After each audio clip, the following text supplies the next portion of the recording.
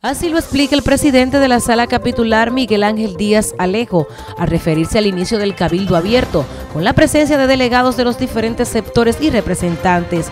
Esto para supervisión de obras incluidas en el presupuesto participativo. Que establece la ley como mecanismo institucional que debe conocer el plan de inversión correspondiente al presupuesto participativo del ayuntamiento.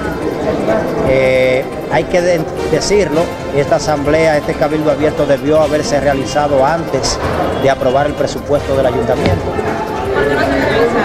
Porque la alcaldía, que es responsable de realizar las asambleas comunitarias, no había suministrado las informaciones correspondientes, el listado de obras, que había sido objeto de, como resultado de las asambleas comunitarias que se realizaron para el presupuesto participativo.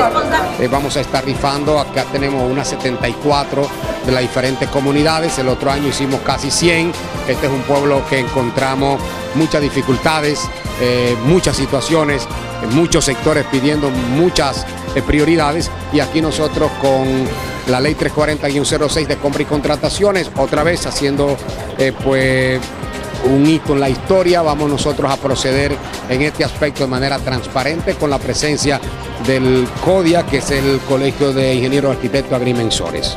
NTN, Joanny Paulino.